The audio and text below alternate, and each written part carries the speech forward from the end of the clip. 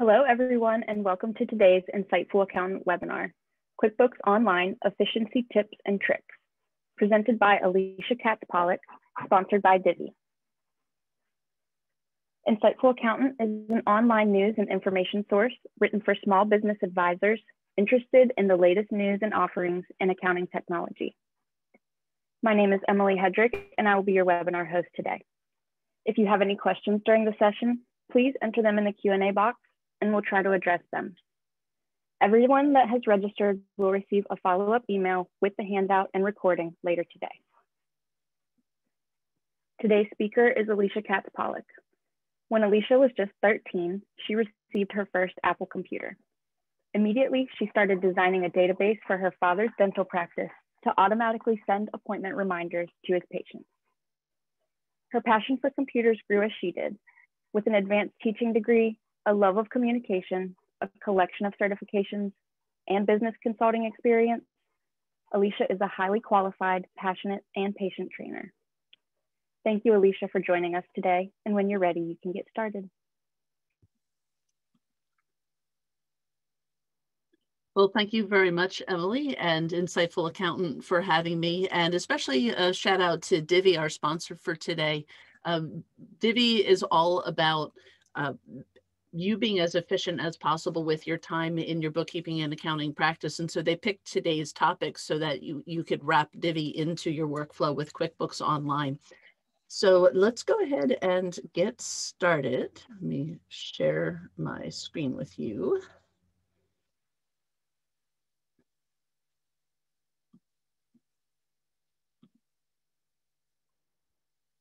Okay, excellent. So welcome to QuickBooks Online Efficiency Tips and Tricks.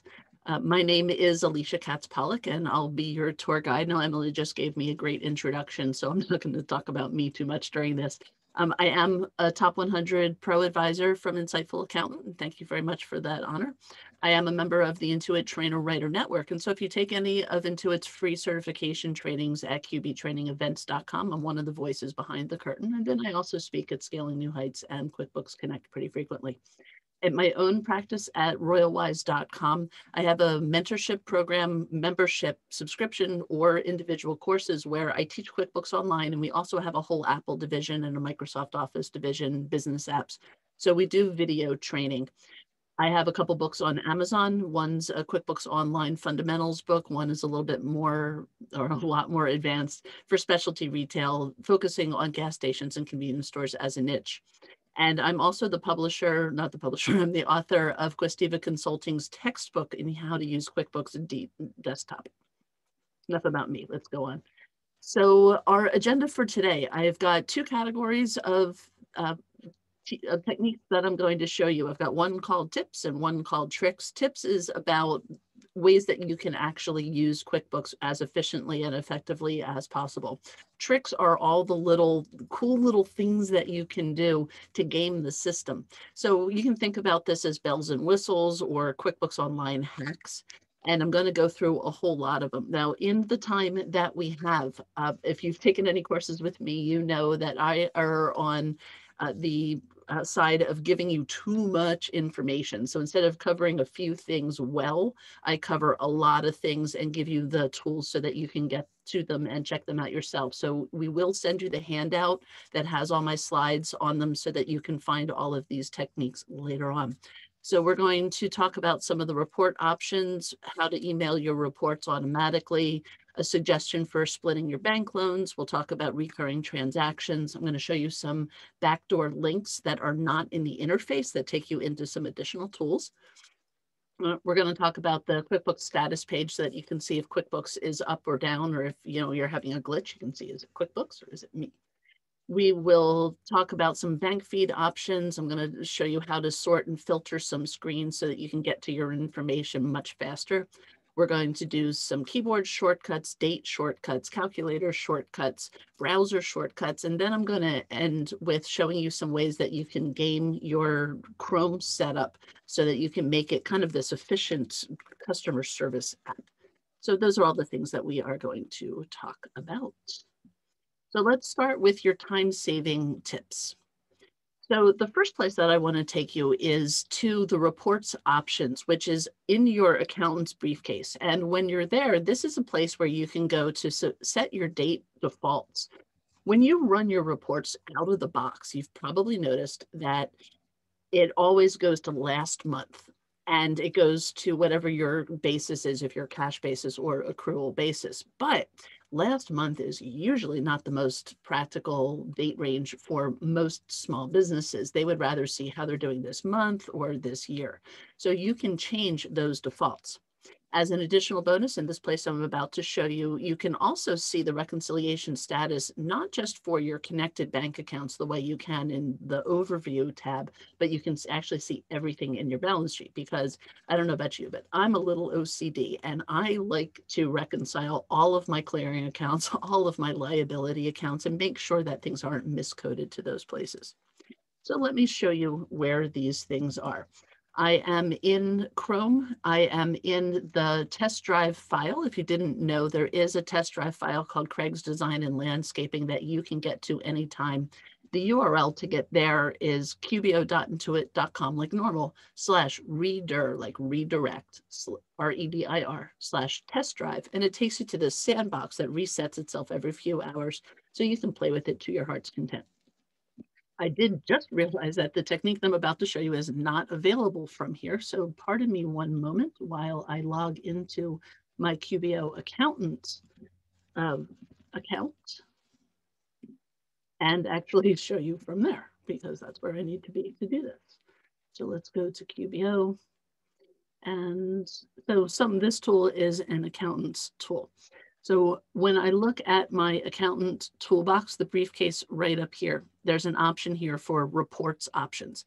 And right now I'm in my QBOA interface, but this could be your um, um, any of your clients as well. And when you're in here, here's the date defaults. And out of the box, this is going to show as last month, but we don't necessarily want it to be last month. My most popular ones, like I said, are this year to date is what most of my clients like. And occasionally I get somebody who just wants to see this month. And if I do this month to date, then the other option here is that you can change your basis. So even if your client is reporting cash basis for taxes, seeing your reports accrual base really gives them a more complete view of what's actually happening in the company. And so, you know, I train my clients on which way they want to see it. So even if I'm cash in my settings, I can still be accrual in my reports. So that's how to use those reports, uh, report tools. And then down here are all of your balance sheet accounts, not just the ones connected to the bank feed. And then you can see when you're reconciled and how different the reconciled balance is. And so this gives you a more complete view. So as you can see, this is one of my favorite tips and tricks right there. Okay. Next is the ability to email your reports. When you create a custom report, you have the ability to send them out automatically. And the um, what that allows you to do is instead of you having to generate the reports and generate the PDFs and send them to your clients, you can pick a date. Like I like to do it not at the beginning of the month. I like to wait and maybe mid month so that I have time to reconcile all of the accounts and make sure that the data is right before it's sent. And the way that this works, let's go back to my QuickBooks and back to Craig's landscaping. Let me make sure that this is still up and running. And it's not, let me log out of there and get back to the right place. I'm going to open up an incognito window to take me to where I need to be. And I'm going to talk about the bookmarks right here in a few minutes, towards the end of today. Let's get our boats going. Boom, boom. I don't know if that's a boat or not. Oh, that's a bridge. Okay, well, I'm waiting for that to come up. Somebody had asked, how do I get to the report tools? And that's up under your briefcase, up under accountant tools up here. So accountant tools and then reports. Okay, back to where I am right now. And we want to look at emailing your reports. So let's say I'm in my report center and I create a custom report and I'll, let's say I display this by months, you know, I'm just kind of making up a report right now. And when I go to save it, I will save this customization. I'll save it as profit and loss by month. Now, this isn't what I'm teaching you, so I'm not really explaining too much about what I'm doing right now just, you know, you make a report, you save the customization. If you'd like to add it to a group, you can add it to a group and then I'll say save. And when I go back to my reports center, and now I'm going to go to the custom reports right here. At the end of the line right here, I have the ability to edit this report. And when I go into edit, it's not editing the report itself. It's giving us the ability to either add it to groups if I want to add it to a group of reports, but especially right here, set email schedule. And I want this to get mailed every single month on the, let's say the 15th of the month. And then I would put in all the email addresses where I want this to get sent. And you know, put in a subject line that I want, put in what I want the message to say, and I even have the ability down at the bottom to attach the report as an Excel file. So that way it will send the PDF and an Excel file. And that way now I have, when I save and close, this report will get emailed to the appropriate people. If you do create a group, you could create, for instance, a whole group of monthly reports. And then set the email schedule at the group level and the whole group will get emailed out in one email to as many people as you want.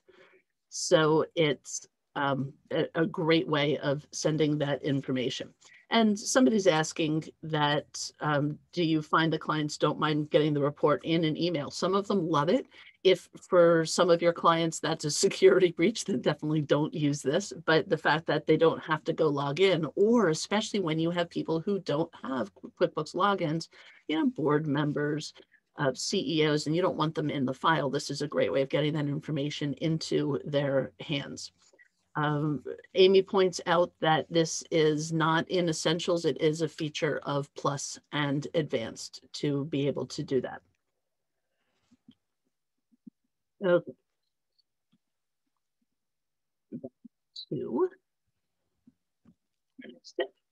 Okay, the next one is one of the limitations of QuickBooks Online is that your loan payments come out of your checking account in one lump sum, but they always need to be split into principal and interest, and sometimes even, you know, escrow or an a, a loan insurance payment, things like that. And most of my business owners don't get the concept. And so what I do is I create a rule that splits out the loan so that there's a percentage to interest and a percentage to the loan principal itself. This is never going to be accurate because let's say the loan is 3% interest, it's not 3% of the payment, it's 3% of the loan balance. So this is never going to be right but at least it created a transaction that has a split that when I get the statement, I can go in and edit the transaction and, and change the interest and the principal to what they're really supposed to be. But if you have a business owner who's has their hands in their QuickBooks and they're having trouble with their loan splits, this is at least a way of creating a framework for that information.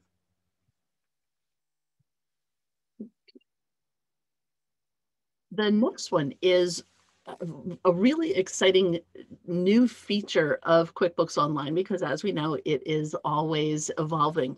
And we, I recently just discovered, I also do a column called Look What I Found. And uh, this was one of my recent Look What I Founds. But the bank feed grid gear option has a whole bunch of new features to make your bank feed that much more robust. So let's go take a look at what that looks like. So I'm going to head over to the banking feed. I am still in my sample company. And where I want you to pay attention is to that baby gear right here. I'll go ahead and click on that. And I get this big list of things that we can now uh, change about this interface. If I want the check number to be in a separate column, I can toggle that check number on and off. Um, you could turn off payee, but I think that is a really bad idea because every transaction needs a payee. So don't turn that one off.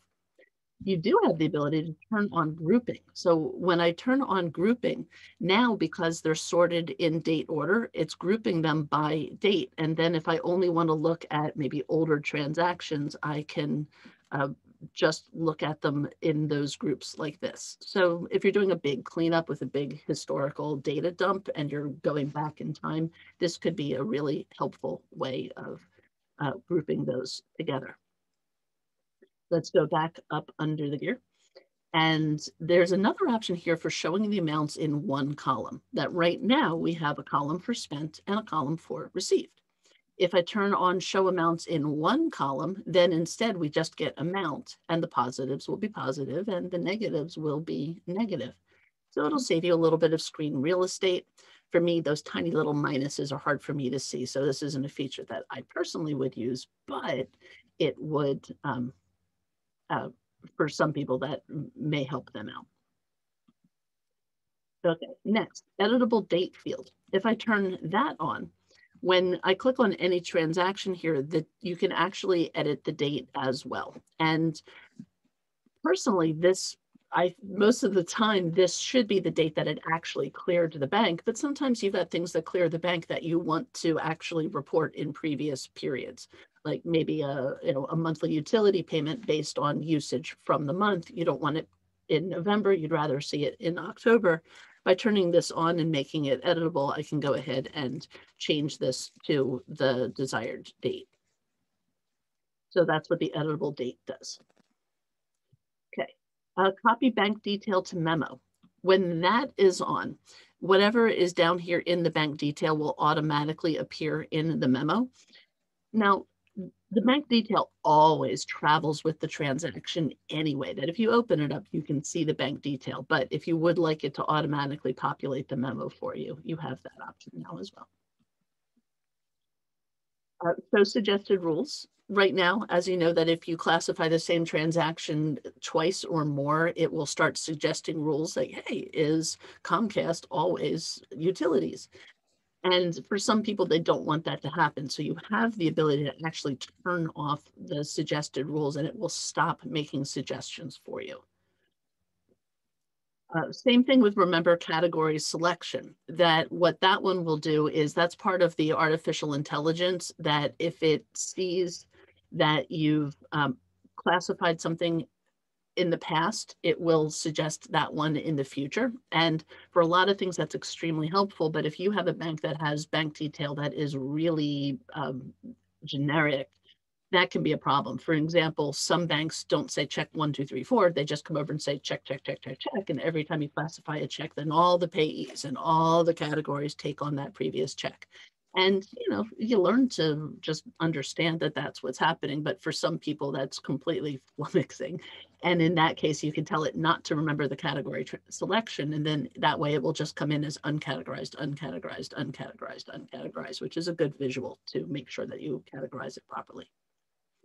And then show bank details. What that one does is moves the bank details to this, the description column I personally like that because the artificial intelligence, the AI, takes whatever came in from the bank and tries to translate it into English for you.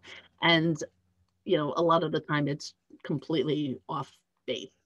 And I like seeing the description here instead of the the artificial intelligence description. So I really like show bank details.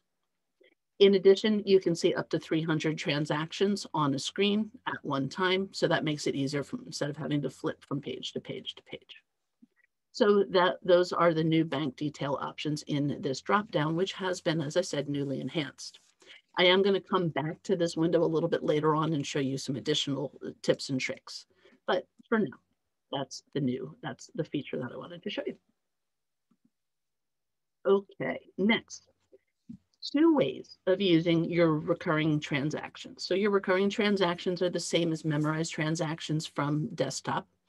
And two things that you can use them for. One of them is your um, monthly um, your monthly billing. So if you are doing fixed billing for your uh, for your bookkeeping clients, or you have uh, one of your clients is a, a landscaper like Craig's Landscaping, you can make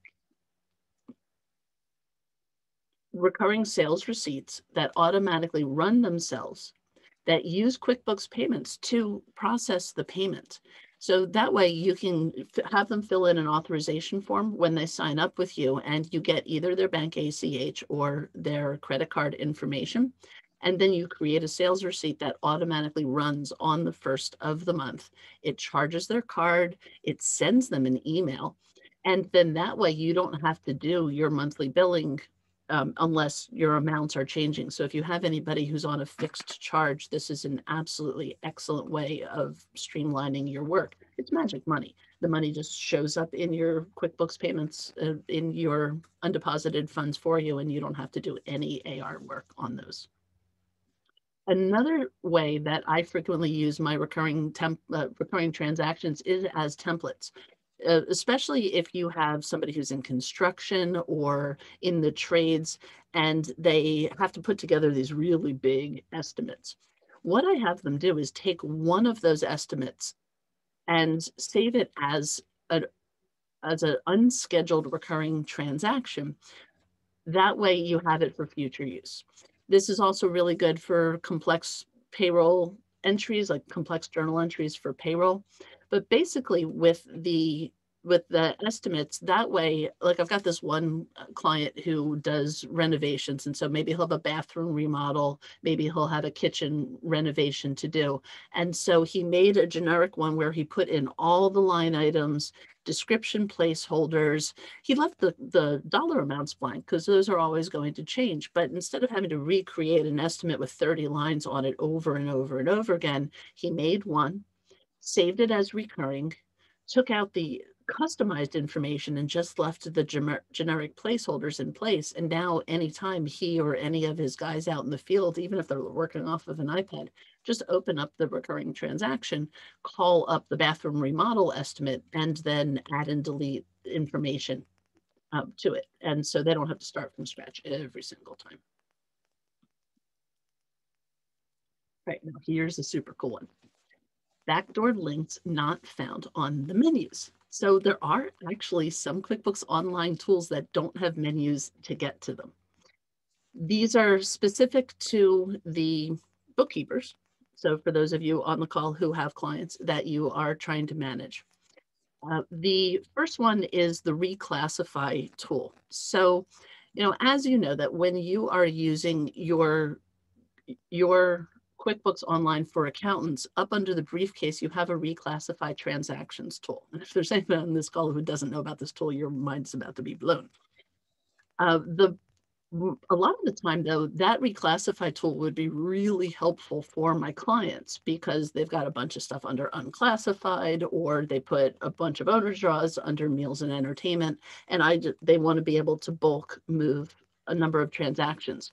So typically you can't do it from a client file. Typically you would need to log into the client file through your QuickBooks Online for Accountant, but here's the back door. If you, the regular URL is qbo.intuit.com slash app for everything in QuickBooks Online, and then each screen is something after the slash. So this one is reclassified transaction. So I am going to go up to the URL right here, and you can see that it says banking because I'm in the banking menu. So I'm going to change that to reclassify dash transaction. And eh, let's put that in there, reclassify dash transaction.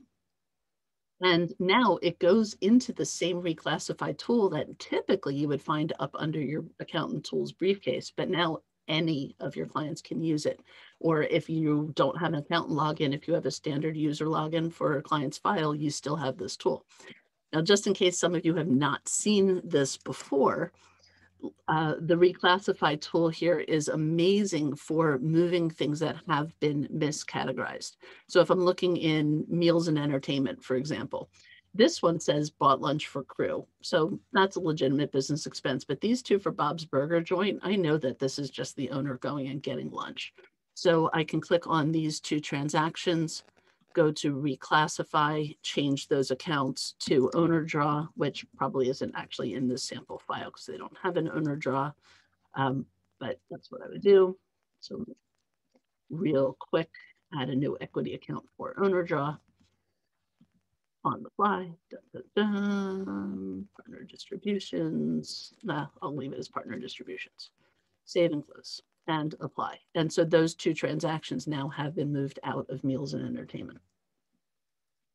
Uh, so that is the, um, so that's how you can use reclassify and how you can get to it from inside a client file.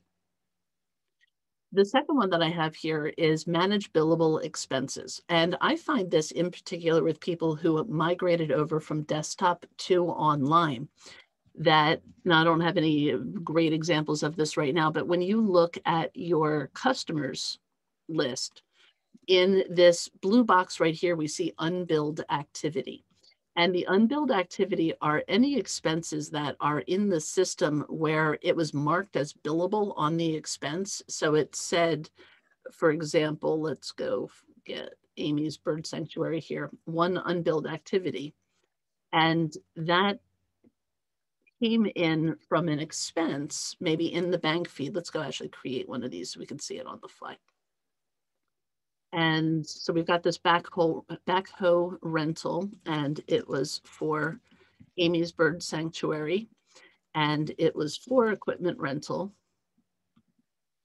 And I have it marked for job costing to the customer. And here's the, the culprit right here is marking it billable right here. And I find people coming over from desktop, a lot of my clients have been marking every single expense billable for the last 10 years. And in QuickBooks Desktop, once they've turned off the alert, they never see them and they don't know that they're there and they completely get swept under the rug. But the moment they they go over to QuickBooks Online, then all of a sudden they're right in front of your face up here again when I'm in customers and I'm looking at the unbilled activity. Now I have had customers that have like 100,000 transactions totaling 15 billion, $15 million. I, I'm serious. I had one of those. And if these are really here because they need to get passed on to a customer, great, you start an invoice and you can get rid of them.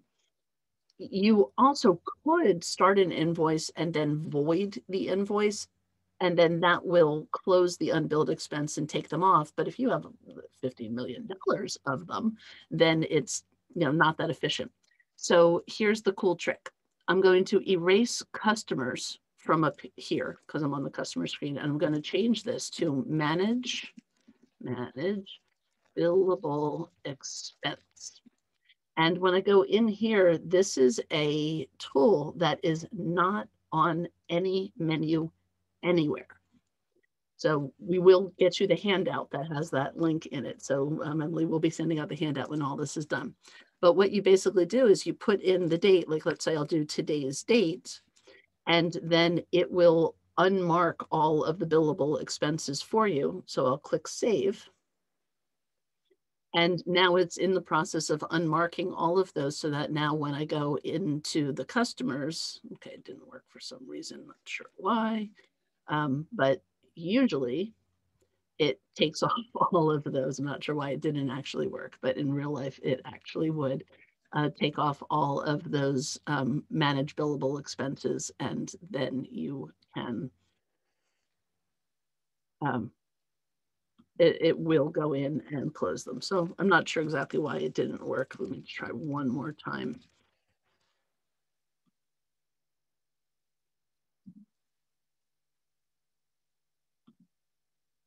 No, it's not coming up, but I swear it really works. I've used it many, many times. Okay.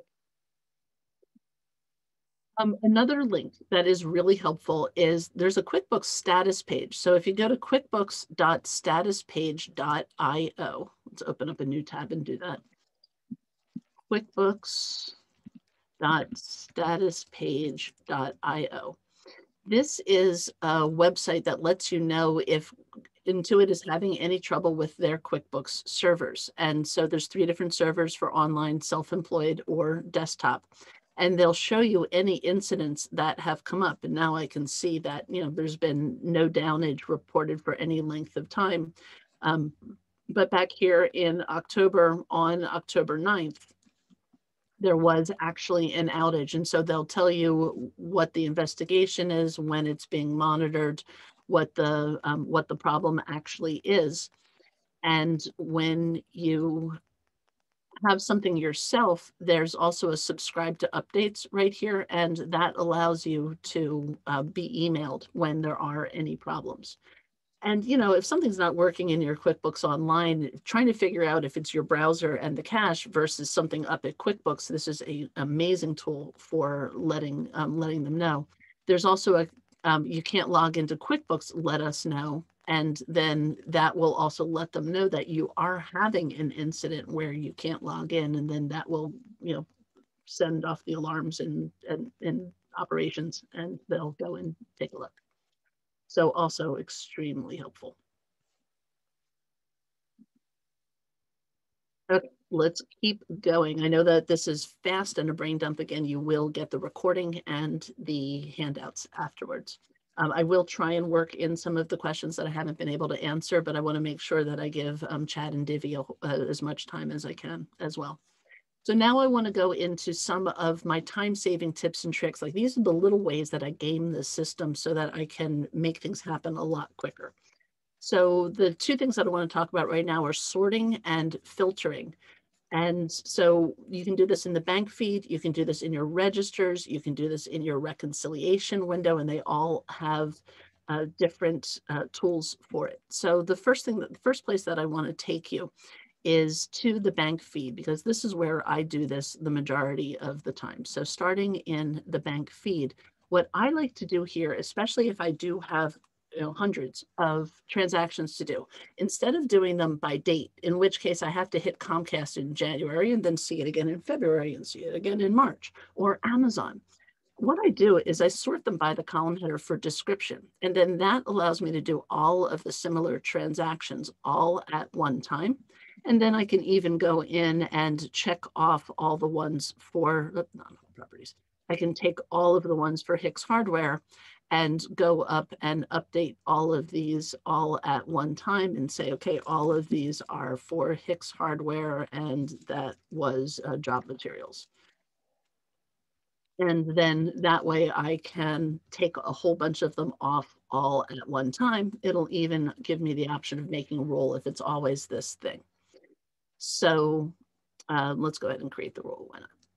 But in any case, what I'm trying to get at here is grouping them by description so you can take care of a whole transaction type at a time is going to save you a whole lot of time. When I look at my bank registers, there are also the ability to, you can also sort by all of these. So like you can sort the whole thing by payment. You can sort the whole thing by uh, transaction type you can sort on any of these, but in particular, don't forget about the funnel right here that you can search for a dollar amount. You can say anything less than this dollar amount. When I'm looking for duplicates in the system, one of the things that I frequently do is reconcile for no status. And when I reconcile for no status, I'm only going to get the things that never came in from the bank feed. These are things that people put in themselves. And then I can use that as a basis to see what extra transactions are in the system that, um, that shouldn't be there. And then always keep an eye out for clear filter view all. I also will filter the register by dates so that instead of having to scroll through pages and pages and pages of them, I'll narrow the date down and only go for a smaller date range. You can also filter for transaction type. You can even filter for payee, and this is all the register so you can imagine how creative you can get with using this to hone in and find certain types of transactions. Okay, and then when I'm reconciling, that's another place where this really comes into handy. Now, this is not a real reconciliation. I'm just absolutely making this up. So I'm going to reconcile it to zero as of today and start reconciling. So now here are my cool tricks for reconciling. Uh, again, when I'm looking for duplicates, you know, because there's a big difference between actually reconciling and reconciling, which is what a lot of our clients will do.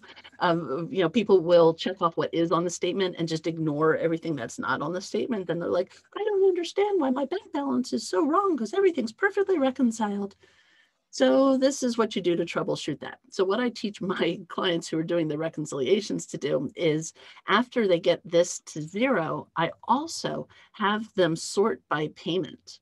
And then this puts everything in order by dollar amount. And then we can look for duplicates like, okay, here's two different ones, 12.9, both to Hicks hardware. One of these was split and one of them was not. And so this probably was the real one. And this is the one I sucked in from the bank feed. So I would delete this one and then rematch that transaction to the correct one instead. And so I find sorting by payment really super helpful. I also will sort by cleared date over here on the left-hand side. That way I can find all the ones that are early and shouldn't have been there, or the flip side that they're after, they didn't actually clear until afterwards and make sure that they're unchecked. So those are both extremely handy uh, ways of um, gaming the system so that you can um, uh, um, be more efficient with your time. Um, a couple questions that are coming in here. Um, somebody asked about the bank statements being automatically downloaded. That's a feature that's being rolled out. So some banks like Bank of America will allow you to actually see the statement here, but other ones will not. A year from now, almost everybody will. Uh, somebody said reconcile by no status. It's not reconcile by no status. It's uh, using your bank register by no status. Um, Melissa asks, uh, uh, actually, I'll go back at the end and, and pick up a couple other things. I just want to make sure that I can give you as, as many as possible. I'm also going to give you my contact information at the end of this. So if, for all the people who are asking questions that I don't have time to cover, you can still reach out to me and I will, um, I'll get you answered. Okay, one of my um, other, actually, I'll do one more thing while I'm here one more cool trick while I'm on this screen um, um, is if you're trying to find a transaction on this page and maybe you've got a reconciliation that's 10 pages long and you're looking for a particular dollar amount, you can search your page by doing either a control F on a PC or command F on a Mac. And that's not using QuickBooks as find. This is the find on your browser. So this is Chrome looking at the whole screen and trying to find a particular dollar amount. So if I'm looking for $100, it will now show me all the 100s and I can scroll through them on the screen and find anything. Now those are reference numbers or check numbers, so those aren't it, but here's the $100 one. And so when I'm on a big list, a register, the bank feed, a reconciliation page, and I'm trying to find something, doing control F or command F and using Chrome's find on your page is a great way of skipping right to what you want. Uh, next, I also want to make sure that everybody here knows that all of the uh, money fields are calculators. And so you can do plus, minus, multiply as an asterisk, divide as a slash, and then of course you can also add in parentheses so that you can do your order of operations. And then when you're done, you press tab and then it will do the calculation.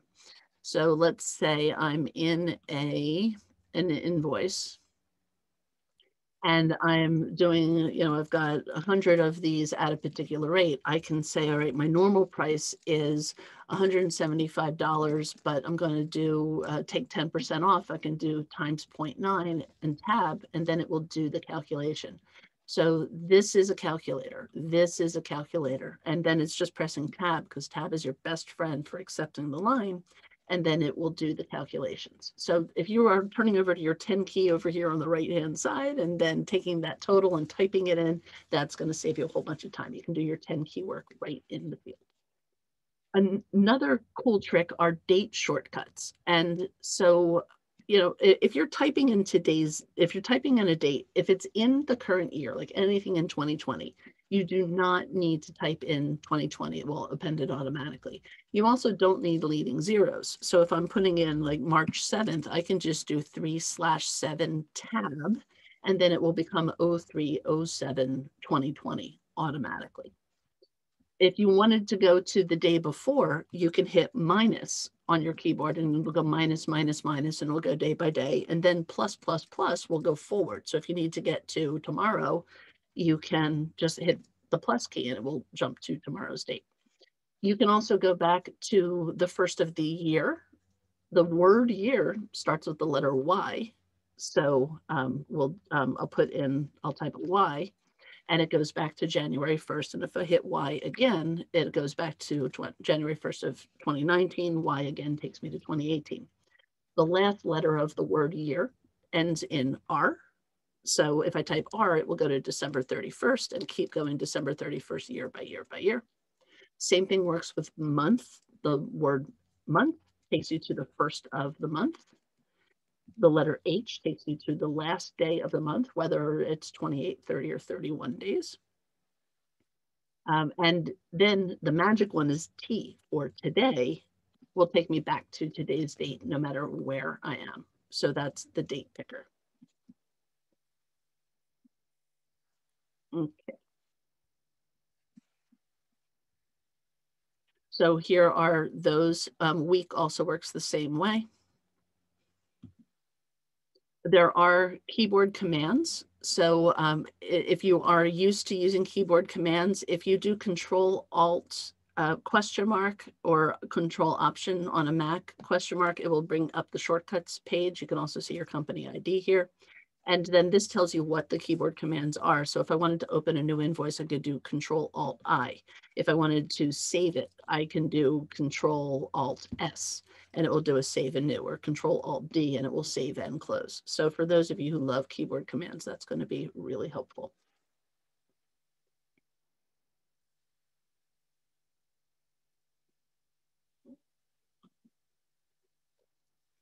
Okay. And then last but not least, and then I will turn this over to um, Chad and Divvy, our Chrome tricks. So there's a lot of things that you can do using Chrome in your browser to really make it effective as a, as a navigation tool. So I'm gonna show you how to do multiple tabs, bookmarks, the person switcher, and incognito. So let me cancel this window that I'm in right now. The first one is multiple tabs that a lot of the time, like if I'm reconciling this account right now, I also need to go look at the register or I need to go look at the bank feed. So what I can do is either right click, or if you're on a trackpad, it might be a two finger click, or if you're on a Mac, it might be control click, but whatever combination you do to get the pop-up menu, you go to, you'll have open link in new tab. And now I can leave my reconciliation window up here and also see what's happening in the bank feed or maybe I also need the bank register, I can right click on um, uh, that one. Now, when I right click on this one, it doesn't give me that option. So another thing that I can also do is right click on the tab itself and I can duplicate this tab and then it gives me a second instance of the same tab. And then I can go in from there and keep going. So here I have the reconciliation open and the bank register open and the bank feeds open all at the same time. I typically also open up a search window as well. I can't work in less than three tabs ever. So I like, um, so I always have these things open. Another thing that you can also do is save bookmarks to these screens that the, um, the let's say um, your, your customer's window if you have screens that you use a lot, now it doesn't work on the checking registers, but it works on almost all of the other screens. So let's say I go to my customer screen really frequently. I can drag this lock right here to my toolbar and it saves customers. Now, even when I switch from client to client file to client file, if I can click on customers and it will always take me to the customer's screen. So I can go to a different client, click on customers, and I go to customers. So I myself have a whole list of my own favorite bookmarks. The search window is another good one. Um, and then that way you've got your customized links. So if I open up advanced search, I can go ahead and take that lock and put search up here. And now I always have, um, I can always jump to search no matter where I am. So another way of making new tabs would be to click on the plus sign, make a new tab, and then click on search. And now I'm in a search screen. So that one is super handy. Um, another one, another tool that I like to use is the ability of Chrome to have multiple users. If I look up in the, let me actually switch to my other one for this one. I'm going to go to my fake company here to boom, boom. Okay. When I look up in the upper right hand corner, there's some Chrome tools up here. So hopefully everybody already knows about the incognito window, which is a pure pristine environment that um, doesn't collect cookies, doesn't collect um, any information. So if you are having trouble with your QuickBooks and you're not sure if it's you or if it's Intuit, try doing the same thing in an incognito window, and then that will let you know if it's an issue or if it's you or if it's the, the, the Intuit. You can also use incognito windows to open up multiple clients at a time. Every incognito window can have a separate client, so you can work in multiple clients at the same time or have your QBOA up in one and your client in another. Or if you're taking the certification test, have the certification test open in incognito and then use a regular browser window to try all the things. So that one's really important. But what I was, the other one that I want to show you here is this one's really overlooked. And this is the ability to have different people in your QuickBooks. And so I can create different environments for each of my different clients. And so you can add a client to this. And so, you know, I'll put in uh, who's going to be my client for today. Um, uh, what TV show am I watching these days? Um, drawing a complete deck. All right, I'm going to use Chad from Divvy. So here is a new client environment. And by doing that, what I can do is I can have entirely different bookmark sets. I can turn on my uh, bookmarks and show my bookmarks and then I can put up bookmarks just like I showed you for his bank accounts, his credit card accounts, his QuickBooks, uh, his common fields, and you basically make a custom environment for every single client. You can open them all up at the same time, and you can also switch between the environments and then move from client to client and create custom environments that suit each client's needs. Then you don't, you're not always looking for like, which bank are they with? You just have the tabs open across the top. So that is one of my, one of the, this isn't my computer, so you can't really see it in action, but on my own computer, that's what I'm doing and what I'm seeing. Okay, I did Command F, I did incognito, and I also showed you bookmarks and I showed you multiple tabs. So those are all of those right there.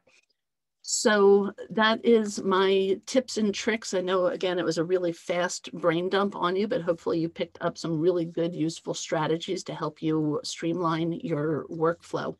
Um, and so if you want to reach out to me after, after this, my website is royalwise.com. I have a Facebook group called Training for QuickBooks Users, where I promote all different QuickBooks trainings from all different uh, sources. You can find me on Twitter at royalwise.com.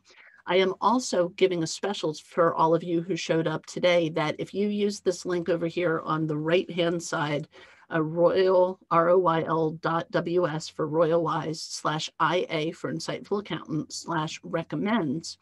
Uh, that takes you to my website and all of my classes. And if you use coupon code IA10 for Insightful Accountant 10, you can get 10% off of any of my upcoming live classes or any of my video recordings. So a few gifts for you. And again, that will be in the, I'll put it in the chat also.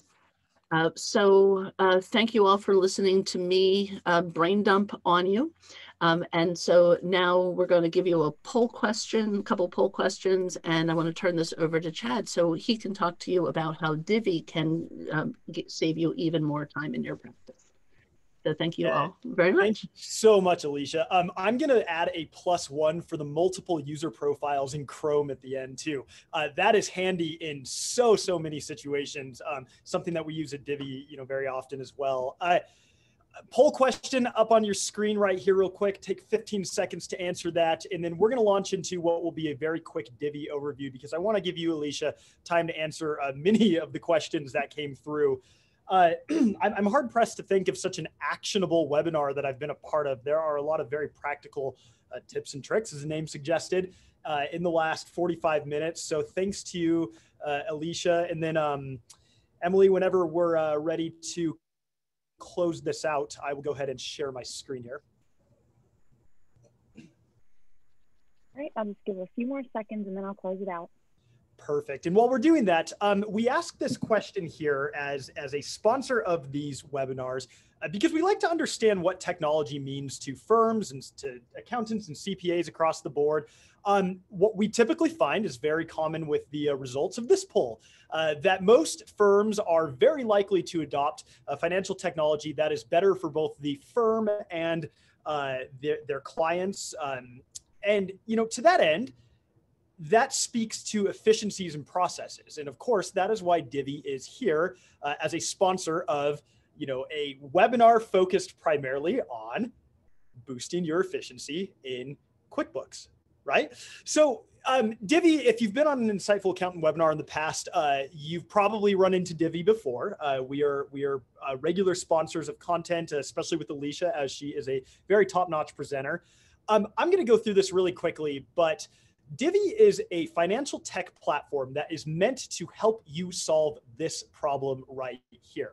If you have clients, they have a month worth of spending and you're waiting for expense reports and you know all the people who are doing the spending to categorize their uh, transactions and get you the receipts that you know closing of the month can be a very long drawn out process that unfortunately is more often manual than it is automated uh, so what is Divvy? Divvy is a, a spend and expense management platform uh, that would be a great alternative to say something like Expensify, for example, but we do something different. We combine at the core of this an actual credit card. And this becomes a linchpin in the difference, right? When you control the spending mechanism and you can see all the data around that spending mechanism, boy, you can build out some really, really cool software um, to to help make your life easier as an accounting firm and your clients. So, in a nutshell, we like to unify the technology landscape. Uh, we replace corporate cards. We replace expense management. Uh, without getting too political here, we uh, we do focus on our users and not anything outside of their experience on Divvy. Um, we can replace travel portals, AP and bill pay portals, and then of course all of this information, once it's unified, goes to enhance accounting systems that you use like QuickBooks Online. In fact, we actually have a very robust direct integration with QBO and everything that you see in Divvy from a spend feed gets immediately transferred over to QuickBooks. So again, process enhance, enhancement for you and better visibility into your client spend. So why are we why are we here talking to you about Divvy today? Well, we've got a partner program, and not just any partner program, one that we really want to partner with uh, you on becoming uh, experts in a new fintech stack. You know, have another very viable arrow in your quiver to recommend to clients. Our goal is to make you, you know, it, it puts you in a position where you can get more business from your existing clients, uh, but also become experts in new systems to attract new customers. That is the goal. Uh, more than that, um, I'll bump down to this last point here, but uh, revenue sharing on a free product. Divvy is free, but we also give you rev share. I'll talk about how we make our money in just a moment. Uh, but get a demo today. Getdivvy.com slash partners slash overview. We're a free product. We're not here to sell you anything. It's more of a discussion about how Divvy is working with existing accounting firms already as partners and how we can do the same for you to achieve everything on this bullet point list. Or if you have questions, you're welcome to reach out to me directly. Uh, just a couple highlights about our system. Divvy is tech to end financial babysitting. So we, we want you to have complete and total real-time visibility into your clients' transactions across the board. Um, we also want you to stop the manual processes that come along with those transactions, like uh, categorization of expenses and receipt uh, chasing. We have technology to allow your clients to do that on their own in real time and give you all the data you need as the accountant uh, to be able to close the books and manage their spend in uh, very meaningful ways. Real time feeding into QuickBooks Online. So, if you are a QBO user, as I'd imagine mo- most of you are, uh, this is one of the most tightly integrated systems you can get for QBO. Absolute adherence to budgets. So, enforceable budgets when you control the spending mechanism, aka a credit card, you now have a, an ability as an accounting firm to go and build enforceable budgets for your clients. How, how, valuable is it if you could turn around to your client base and say, I can work with your company and ensure you never go out of budget again, ever? Uh, reimbursements, bill pay, travel portals. Divvy's got it all. Again, we're trying to unify the tech stack into one singular holistic offering. And again, Divvy is completely free uh, with the exception of our reimbursement portal. Everything else is here at no charge to you or your clients. No upsells, no contracts, no cost. Um, we make our money off of a percentage of the spend on the cards.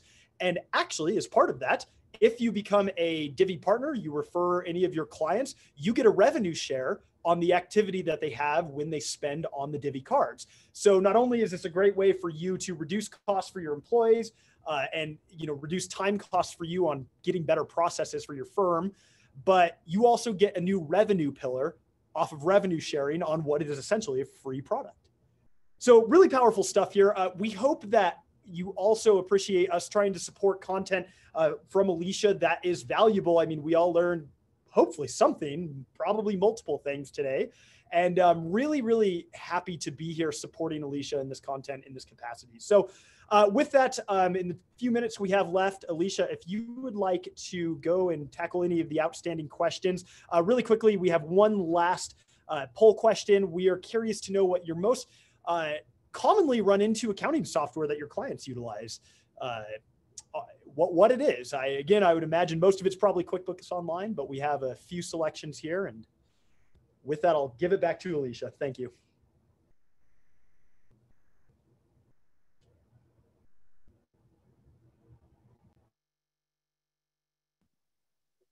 All right. Well, thanks, Chad. We have just a few minutes left, and um, we've got the second poll up. So, um, you know, if, you can stay and pick my brain, or um, if you need to take off, you can. Um, I've been answering questions inside the Q&A, but I will pick out a couple of my favorites so that um, I can address them for everybody in case you haven't been following the Q&A. But if you have additional questions, uh, please do put them in and I will um, build them in as well. So a couple of the questions that I received. Uh, yes, there is a handout. You will get a handout and a recording today so that you will be able to go through and, um, and review all of these cool tools. The, um, well, um, I had shown you about the report, um, the, the report tools dropdown. And um, that again is up under your briefcase and it is on a client by client basis. So if you are logged into a client's file and you go up to the briefcase and choose report tools and you change their default date range, that does affect the client's experience and it is only for that one client. So you can set a different default date range for every single client.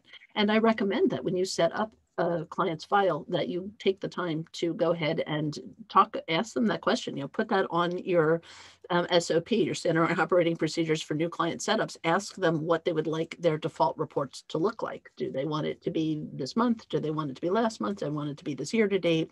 Do they want it to be cash? Do they want it to be accrual? And then set that up for each one of your customers. Uh, sticking to that theme of are things sticky? Uh, somebody had asked that that feature that I was showing you when you are looking in banking and then going to the, the baby gear over on the right-hand side, um, are these sticky? Uh, these are. Once you set these, they will stay that way every single time. Uh, however, the sorting by um, by date or sorting by description, those you have to redo every single time. I didn't actually mention these drop downs right here as well, but you can also filter your bank feed by date or by just the recognized or just the matched. And uh, uh, voice of experience here, when I'm doing, like this is the end of the year, we're in November, and I still get clients who want me to do all of 2020. So when I do a bank feed import, and I have 500 or more, more than 500 transactions waiting on this list, the matching feed doesn't work. You have to either click on it and click find match and manually match every single one of them, which is a massive pain to do. But here is, this is this right here, I'm gonna leave you with something that's going to change your life. For those of you looking at more than 500 transactions, if you filter this on a month by month by month basis, and I just say, um, you know, maybe I say January 1st, so I'm going to type the letter Y to take me to January 1st, and then I'll do Y H. I'm almost done. Um, I'll click apply, and then when it gives you those transactions, you will get your matches, and then you can expedite your whole process. So that's what I got for you. Um, thank you, Emily. I'll turn it over to you. Thank you, Alicia. I was just going to say there's a couple people who said that they couldn't see your screen. So if you want to show that really quick and share your screen, that might help. And then I'll close it out. Reminder. okay. Um, I will go ahead and share my thank you for that little bit of extra time right there so that I can demonstrate this. I've totally forgot I wasn't sharing my screen. So the um, I was just showing that the um, the gear over here is sticky um, but when I'm uh, looking at all of my transactions on my screen here, let me reset my dates. If you have more than 500, let's get all that stuff off of there. Um, if you have more than 500 transactions waiting on your bank feed, especially if you're doing a whole year at a time, the matching gets overwhelmed and can't match. You could click on each one and go and find a match and find it, but that's really tedious. So what I do is I'll go to this date range right here. I'll, I'm going to hit Y to go to the beginning of the year, and I'm going to do YH to go to the beginning January and then the last day of January, and I apply that. Now on my screen, you're not going to see them, but now you have a small enough range that the matches to your existing data will show up. And then you can go through and just clear those matches really quickly. And so that tip alone is life changing. So I think that's a great note to end the day with. So thank you, Emily. Awesome. Again, thank you so much, Alicia. That was a great presentation. I can see from the attendees that how much everyone has got from this presentation. So thank you so much. Everyone, thank you for joining us here today. I will get the webinar recording and handout here to you shortly. We hope to see you at the next Insightful Accountant webinar and hope you all have a great day. Thank you.